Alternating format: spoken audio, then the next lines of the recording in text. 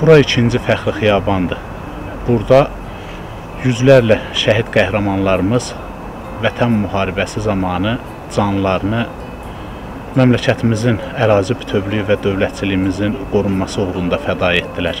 Bu gün ikinci fəxri xiyabanda uyuyanlar sırasında bu gün haqqında sizlərə bəhs eləyəcəyimiz şəhid qəhrəmanımız Abdullazadə Həsənağa da var.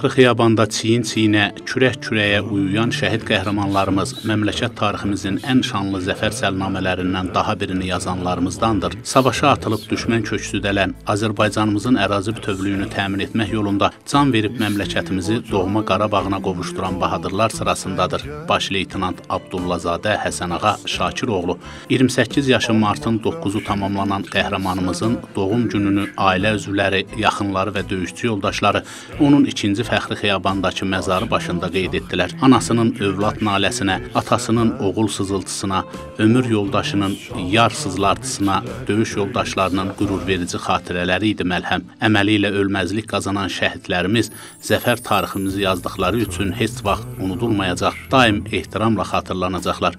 Həmçinin də Həsən ağa Abdullazadə. Həsən ağa həm yaxın yoldaşı idi, həm yaxın zabit yoldaşımız idi, həm qardaşımız idi. Yəni onunla mən 3 il Murovda, Gədəbəydə xidmət eləmişəm. Ön xəttdə ikimizə bir yerdə xidmət eləmişik. Yəni canlara dəyər bir insan idi. Vicdanla xidmət edən bir insan idi. Özünü bizə zabit yoldaşından çox bir qardaş kimi təqdim eləmişdi. Bu gün ad günündə onu 3 il bundan qabaq təmtəralı sürətdə kollektiv şəkildə onun ad gününü qeyd eləmişdik. Yəni o biz onun ölümündən razılaşmırıq da, o bizim hər zaman yanımızdadır. Biz onu hər zaman hiss edirik, həqiqətən fikirləşəndə hiss edirik yanımızda. Sanki fikirləşirik ki, harasa gedib, gələcək hardansa çağıracaq. Yaxşı yoldaş idi, yaxşı qardaş idi. Allah da Allah hər kəsə elə yoldaş, qardaş qismət eləmir. Nə yaxşı bizə ki, bizə o gün Allah da Allah bizə qismət edib.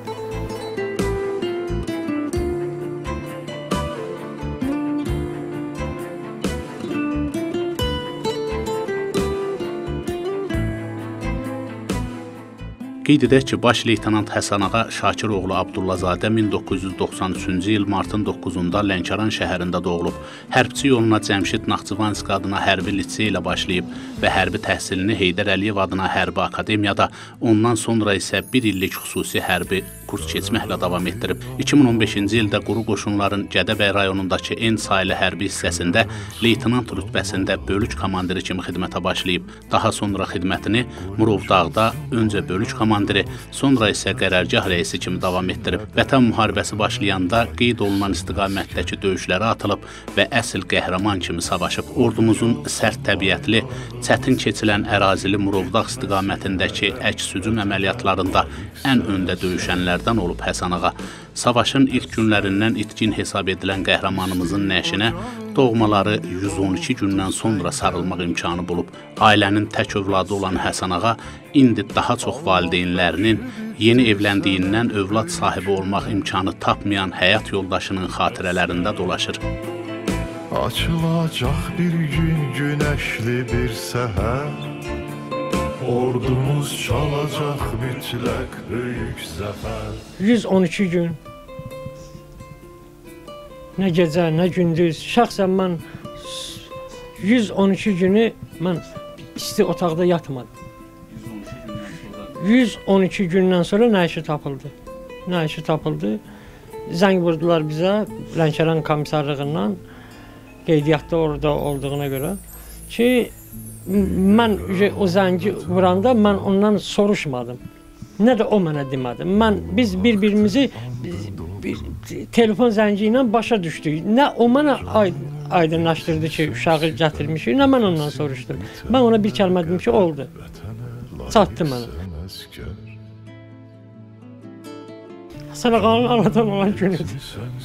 İki gündə biz dayanmadan ancaq Həsən ağanın ad günü üçün hazırlıq görürük. Bir dənə təbrik eləmək bacarmırıq. Bunu bilirəm ki, bu gün onu 3000-ə yaxın şəhidlərimiz təbrik eləyir. Cənnətdə birinci gündə ona ad günüdür. Ailəm tək evlad idi. Mən elə bir dörd dənə evlad itirmişəm, bir dənə o qalıb. O elə bir uşaq idi ki, deyərsiniz anadır tərif edir. Oxuduq orta məktəbdə, əla ilə. Hamı baş istəyirdi onu, hamı. Naxçıvanskıda, ali məktəbdə, hər yerdə, hər yerdə elə bir seçilmiş bir uşaq idi. O qədər mənə bağlı bir uşaq idi ki, mən hətta ona deyə bilərəm bu 27 yaşına qədər bir dəfə mənim səsini qaldırmayıb, bir dəfə məni nazla çağırırdı mənə həmişə. Elə bir uşaq idi, el tərbiyəli, çox, çox başqa şey idi. Bunu belə tanıyanlar, bilənlər hamı bilir ki, bu uşaq o dərəcədə. O hərbini seçəndə mən ayağımı dirədim. Dedim, mən öyrənməsən, sən bir dənə sınıqasan, bir dənə uşaqsan. Hamı da deyirdi mənə ki, sən necə bir dənə uşağı qoysan. Dedi, yox, ana, mən o gedəcəyəm. Onlar həmin vaxt elə bir mən dedim razılaşmada öz də tərbiyəsi ilə, təhsili ilə mən məşğul olmuşam. Atası ustalıq edir. Müəllimi gəldi, hərbi müəllimi. İndi rəhmətə gedib, Allah rəhmət eləsin. Dedi ki, xanım siz onu buraxmasınız. Ömür billah vicdan azabı çəkərsən. Ki, mən uşağın sevdiyi yolda gətirdim.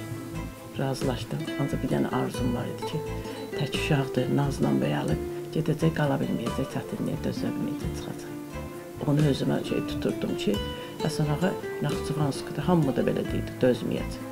İnanın ki, belə heç bilmədiyim, tanımadığım adamlar, əskərlər onun haqqında gəlirlər mənim yanıma. Mən öz-özümə fikirləşirəm ki, mən bu uşağı tanımamışam. Mən uşağımı o dərəcədə tanımamışam. Qəbul eləmək mənə niyə çətindir? Tək evladı, nişanəsi yox, heç bir şey yox. Məni yaşadan o idi, o da ki, seçdi, vətəni getdi. Şəhidlər haqqında yazılanlar gənc nəsil üçün təkcə qəhrəmanlıq nümunəsi deyil, həm də vətənə sədaqətdir. Buna görə şəhidlərdən daim qürurla, sevgi ilə və kövrəkliklə danışılır.